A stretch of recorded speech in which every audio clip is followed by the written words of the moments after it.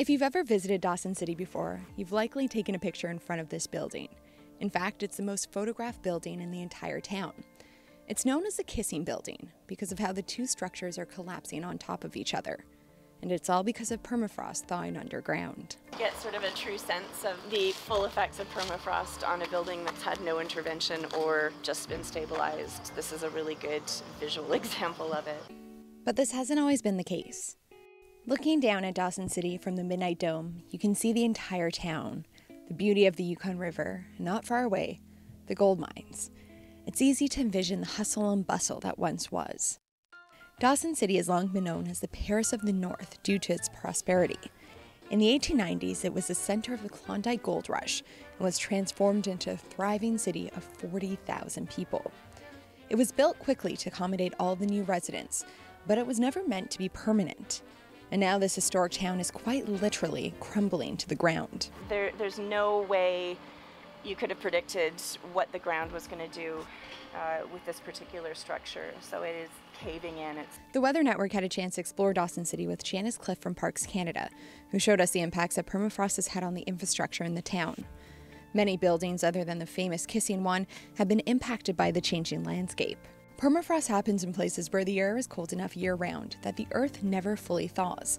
Every year, there's a natural freeze and thaw cycle that happens in the spring and fall months. But as ground temperatures rise, the ice lenses under the surface permanently disappear, meaning the ground loses volume and there's nothing to hold structures together. Dawson City has seen an increase in temperatures of over 2.4 degrees Celsius since 1901, and similar increases are expected over the next two decades. When Parks Canada saw what was happening to the buildings due to the changing climate, they responded by implementing infrastructure repairs in the Klondike region. They're all in various stages of stabilization. For some of these buildings, the intervention is minor. Come on in. Just adding interior support like beams to keep the public safe. For others that continue to tell a historic story of the gold rush, they did more intense revamping. The, the easiest and most accessible ways to deal with the foundation uh, in Dawson is, is to excavate to bedrock. Uh, the permafrost is allowed or, or meant to thaw.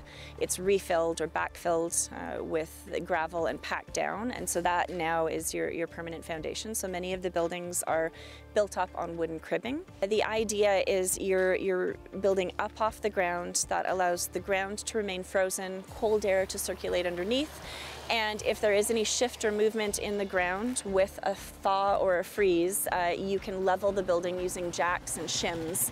Uh, so every five or six years, you'll you'll find you're you're doing a little leveling. and now all of the new homes in Dawson are being built up off the ground in hopes of protecting the structures. The buildings are built up on cribbing, so you can see like all the plumbing, plumbing and sewage is coming from the ground and going up, insulated. Eventually this building will be skirted, but that open space means cold air circulating, the ground stays frozen, stays stable. And while we'll have to wait and see if this new way of building can stand the test of time against permafrost thawing below, Parks Canada, along with local government, private businesses, and the Witchin First Nation, are all working together to keep these buildings alive, since they are the key to keeping the history of this town alive as well.